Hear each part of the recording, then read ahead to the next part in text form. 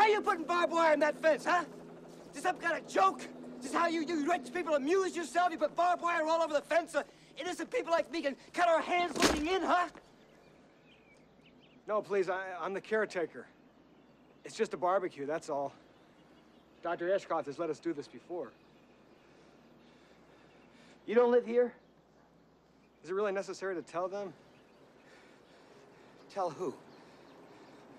Altmore Security. Aren't you with Altmore Security? No, no.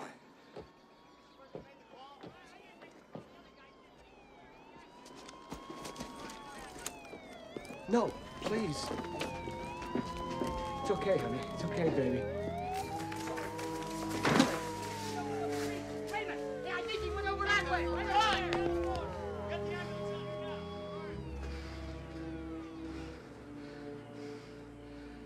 Doctor lives here? What kind of doctor lives here? Plastic surgeon. Plastic surgery bought all this? Guess I'm in the wrong racket. The correspondence courses in plastic surgery?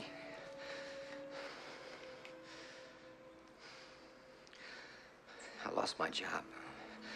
Well, actually, I didn't lose it. Uh, it lost me. I'm overeducated, underskilled. Maybe it's the other way around, I forget. And I'm obsolete. I'm not economically viable.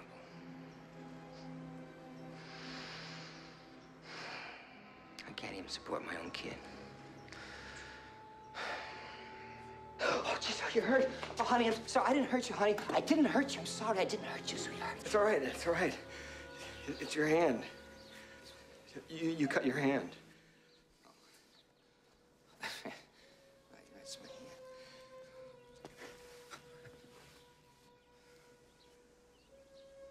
Please take me with you. No. They won't do anything as long as I'm with you. Just please let him go. What do you think? You, you think I want to hurt your family? I have a family of my own. You don't believe me? We believe you.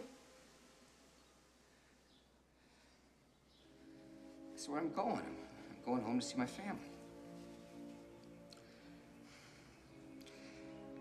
It's my little girl's birthday today. We were gonna have a barbecue like you guys. And, uh, she was gonna play outside, and my wife hold my hand, talk about grown-up things. And then when it got dark, we'd all go to sleep together. We'd all sleep together in the dark. And everything would be just like it was before.